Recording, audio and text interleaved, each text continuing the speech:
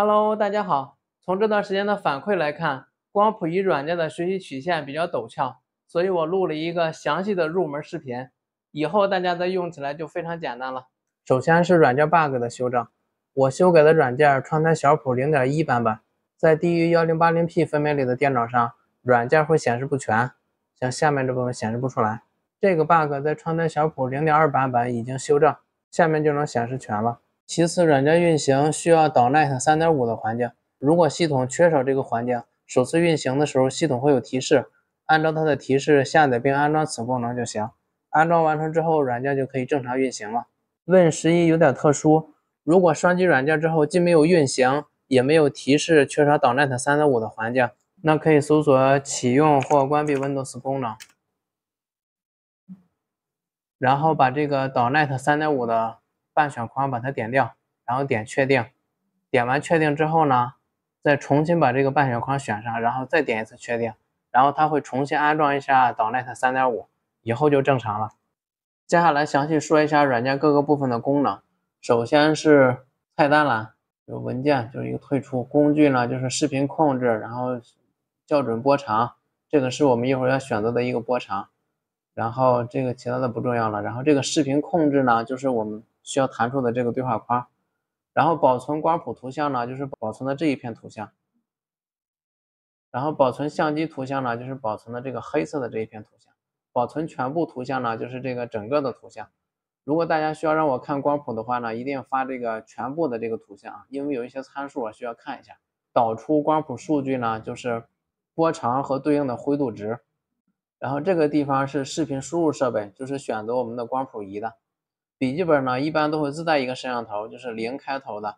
有的时候不小心选中那个摄像头呢，软件会报错。这时候呢没关系，直接关掉之后呢，我们看这个软件的根目录下有一个 ni 点 txt 文件。最简单的方法呢，就是把这个 ni 文件删掉，然后软件会自动重建。呃，熟悉之后呢，可以把它打开看一下里面的参数。这些呢就是软件的一些配置参数，包括那个校准的数据什么的。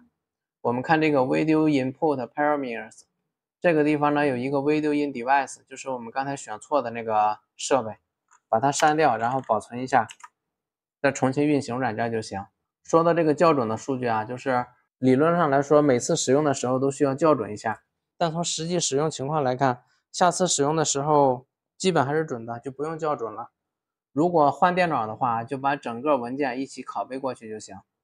然后我们重新运行软件。然后在视频输入设备这儿选择这个 USB 杠 ZH 这个设备，然后再说一下数据线的问题啊。如果用的是自己的数据线，然后长度还超过一米的话，一定要选这种带磁环的，否则软件运行不稳定。这个不稳定呢，主要表现为刚开始的时候光谱是正常的，然后用了一会儿呢，这个光谱就不动了，然后这个光谱仪重新插拔之后呢，那个光谱又开始正常了。这时候呢，就说明这个数据线有问题，就需要更换一下数据线。然后这个地方呢是存储图像，就是名字，还有保存图像的格式。然后这个是存储的路径，就是我们刚才保存的这些光谱图像啊、数据啊，都会在这个路径下面。这一片区域呢是同步和集成，左边这个呢我们不用管，是一些同步的功能，不用管。右边这两个数值呢，我们主要关心的是这个下降的速度。这个速度呢，文档是这样介绍的啊，大概的意思呢就是。呃，说减少这个光谱消失的时间，让这个光谱呢进行无限的积分。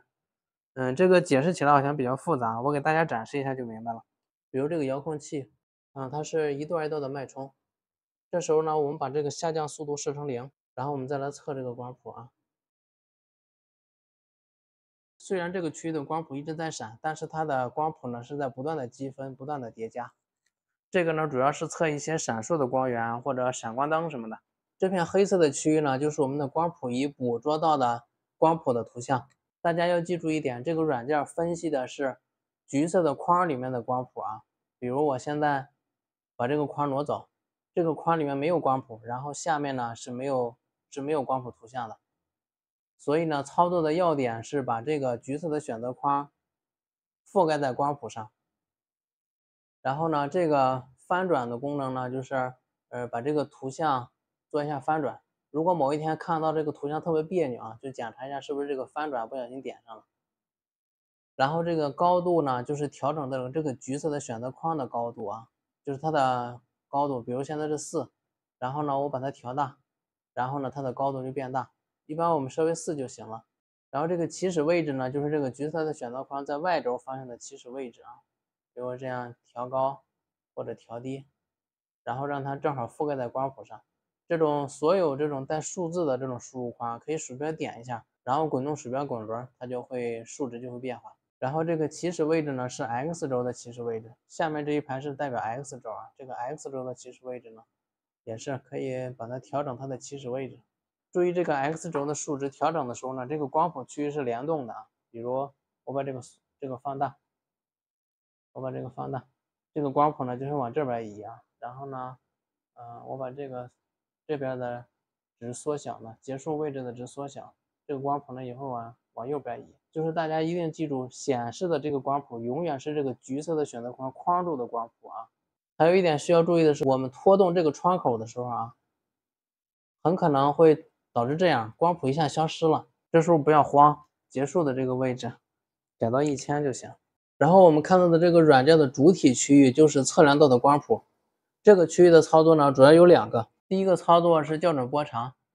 在这个工具里面选择校准波长，选择荧光灯的四百三十六纳米和五百四十六纳米这两条特征谱线。大家要记好荧光灯的特征谱线，每个峰值的波长从左到右应该是啊，就是这个值应该是三百六，这个峰第一个小峰应该是三百六十五，第二个峰是四百零四，第三个峰是四百三十六，第四个峰是五百四十六，然后这个呢是五百七十七，这个是五百七十九，这个是六百一十一。然后呢，这个是它的二级主机大，应该是八百零八。然后呢，这个是四百三十六的二级主机大，应该是八百七十二。然后呢，这个峰值应该是五百四十六的二级主机大，应该是一千零九十二。校准的过程其实就是把我们调出来的标尺放在对应的峰值上，让这个峰值的波长显示为标尺的读数。比如这个峰值应该是四百三十六纳米，那我们就把四百三十六这个标尺呢，把它挪到这个峰上面。让这个峰的读数呢变成四百三十六，然后这个峰值呢应该是五百四十六，那我们就把这个五百四十六这个标尺挪到这个峰值上面来，让它的读数呢变成五百四十六。那什么样的结果就算比较准确了呢？我们通过微调标尺的位置，当这些特征峰值显示为这样的结果的时候，就比较准确了啊。紫外部分相差一到两纳米，比如。这个峰值应该是三百六十五，显示为三百六十三或三百六十四。然后可见光部分呢，基本对齐，比如这个四百零四对齐了是四百零四，然后四百三十六呢显示的是四百三十六，五百四十六这条峰呢显示的是五百四十六，这个峰应该是五百七十七，然后这个峰呢是六百一十一，可见光部分相差零到一纳米，然后红外部分呢相差一到三纳米，比如这个峰值应该是。呃，五百四十六的二级主极大就是一千零九十二纳米，那它显示的峰值相差一到三纳米。这个应该是八百七十二纳米，它显示为八百六十九纳米，就算校准完成了，这样测量出来就比较准确了。然后我们再说一下手动输入校准波长。刚才我们用四百三十六和五百四十六这两条标尺校准完之后呢，可见光部分基本很准了，但紫外和红外部分误差能到一到三纳米。如果想要测量的光谱主要集中在紫外部分，那我们就可以通过手动输入校准波长。第一条呢，选三百六十五，然后确定。然后第二个校准点呢，选四百三十六。通过移动这两个标尺，四百三十六现在是对齐的，然后挪动三百六十五这个标尺，让这个峰值显示为三百六十五。这样呢，紫外部分就校准完成了。然后如果想要测量的光谱主要集中在红外部分。手动输入红外部分的两条标尺，我一般用八百七十二、八百七十二和一千零九十二。注意啊，还是我说的那个过程，校准波长的过程呢，并不是说让这个光谱去挪到这个标尺上，而是挪动这个标尺，让这个光谱呢来显示成标尺标定的波长。比如八百七十二这个峰本来应该是八百七十二纳米，我就把这个标尺呢挪到这个八百七十二纳米这来，让它显示成八百七十二。然后呢，这条峰值呢应该是一千零九十二，那我就把这个一千零九十二的标尺挪过来，让这条峰值显示成一千零九十二。我们测一下遥控器的波长，然后顺便把这个下降速度设为零。这样我们可以看到，这个红外大概是在九百四十多纳米。第二个常用的操作呢，就是光谱的缩放。想放大哪个区域呢，就把鼠标放在哪，然后滚动鼠标滚轮。比如五百七十七和五百七十九这两条特征谱线。我们把鼠标在这里放大一下，就很明显了。我的光谱仪分辨率的标准就是这两条谱线一定要能区分出来。左下角这个显示呢，就是当鼠标不在这个光谱区域的时候啊，它就显示的是呃峰值，就是最高的那个峰，就是五百四十六纳米。当鼠标在这个区域里面的时候呢，就是显示的所在位置的波长。然后这个参考呢，是做吸收光谱的时候用的比较多。点了之后呢，它会把所有的光谱的强度都设成一样。嗯，这个呢，等着单独我再出一期视频详细介绍一下。这个现在先不用管。然后这个极小值呢，就是显示的是峰谷的值。比如现在就把这个峰谷的值是多少显示出来了。然后这个极大值呢，就是显示的是这个峰值。这个峰值是多少，就显示的峰值。然后这个颜色呢，就是选择光谱的颜色。然后这个过滤呢，一般弄成三十就行。然后这个校准完成呢，就是我们点校准完成之后，这两条标尺就消失了。接下来我们说一下这个光谱仪里面相机的这个控制面板，上面这两个打开资源面板，嗯，打开格式面板，这个我们不用管。我们主要看下面这个，一个是这个压缩格式，压缩格式主要分为 MGPG 和 YUY2。MGPG 呢是用的相机自己的压缩算法，特点呢是帧率高，但背景噪音也高一些。呃，YUY2 呢属于未压缩的格式，特点呢是帧率低，但背景噪音也低一些。嗯，大家一般选用这个 MGPG 就行。然后视频尺寸呢就选这个一九二零乘以幺零八零吧。下面这些选项啊我们主要操作的是第一个，就是这个 Explore 是曝光，默认的呢是。自动曝光，我们需要把这个自动曝光去掉，因为我们的光谱仪呢属于一个暗光的环境，嗯，有的时候自动曝光不太准，需要我们手动调整曝光时间，然后拖动这个按钮就行。这个数值越大呢，曝光时间就越长，亮度就越高，这个光谱的亮度就越高，然后呢帧率就越低。当调到这个调到负一的时候，它的曝光时间最长，大约是呃五百毫秒左右。然后剩下的这些，就比如增益呀、对比度啊、呃白平衡啊、锐度啊啊什么的，这些都可以不用管。啊，万一以后调乱了，比如一不小心把这个调乱了，嗯，就选全部恢复默认就行了。接下来我再说一些呃测光谱的小技巧。首先说一下这个橘色的选择框，绝大部分情况下呢，它都应该覆盖在光谱上。但是有些时候啊，比如我现在测这个荧光灯的光谱啊。我调到负六的时候呢，我感觉曝光有点高，然后我这个曝光调到负七的时候呢，我就有感觉曝光有点低，然后调整这个光谱仪和灯之间的距离吧，我这个桌子的范围又比较小，调整又不方便，那这时候呢，我们可以把曝光调大，然后呢，我移动这个橘色的选择框，让它半覆盖住光谱，这样呢，那个光谱会降低一些。然后说一下这个背景噪音的控制啊。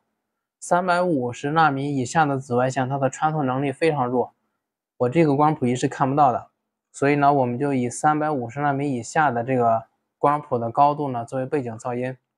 然后我们观察光谱的时候吧，就有意识的以这条噪音的高度作为参考线，然后这个参考线以上的部分呢，就是我们嗯想要看到的光谱。还有一点就是光谱的二级主义大条纹。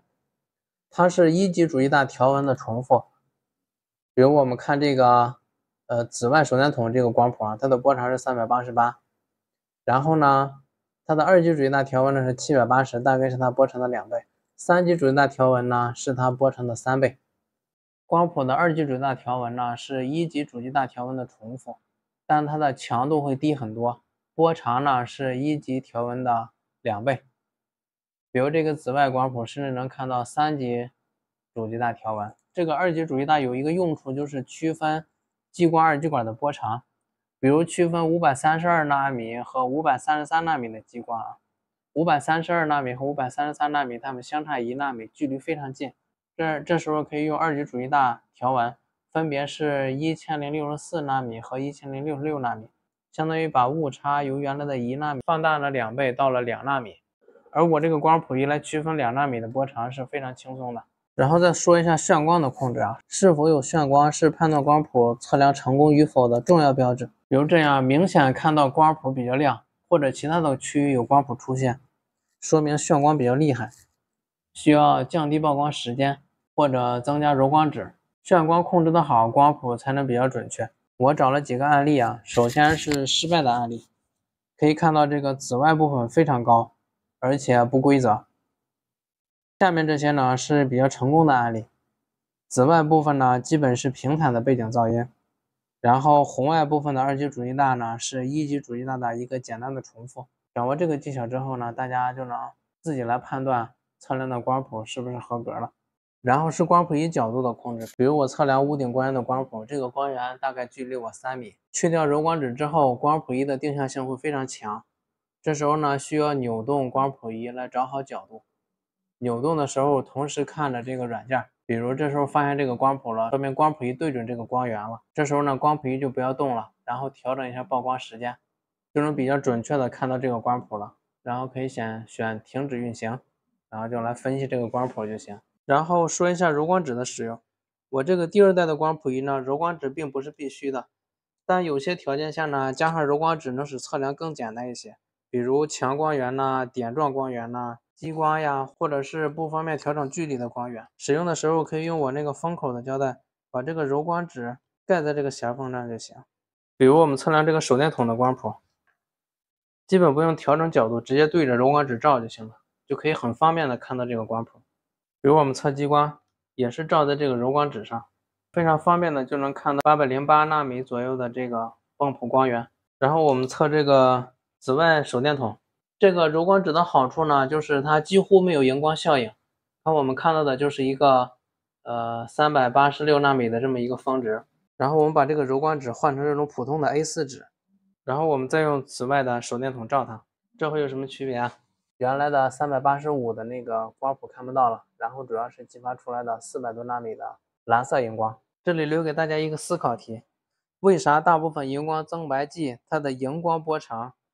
都集中在蓝光部分呢。在跟大家交流的过程中，我发现光谱仪可以干的事情还有很多。以后我会出一系列视频，就叫“光谱仪还可以这样玩”，请大家多多关注。好了，各位，今天的视频就先介绍到这里，祝大家新年快乐！